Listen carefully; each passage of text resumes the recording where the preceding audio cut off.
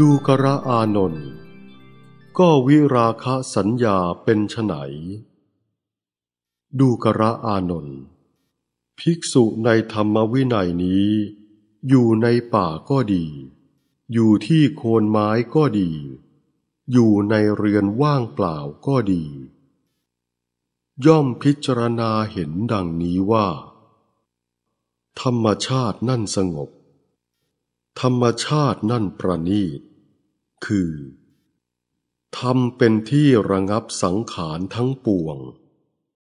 ธรรมเป็นที่สละคืนอุปธิทั้งปวงธรรมเป็นที่สิ้นไปแห่งตัณหาธรรมเป็นที่สำรอกกิเลส ธรรมชาติเป็นที่ดับกิเลสและกองทุกข์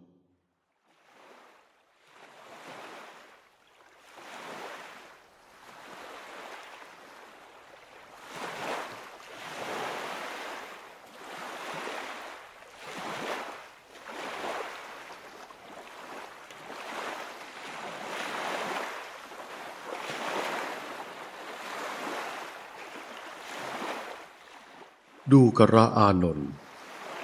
นี้เรียกว่า วิราคะสัญญา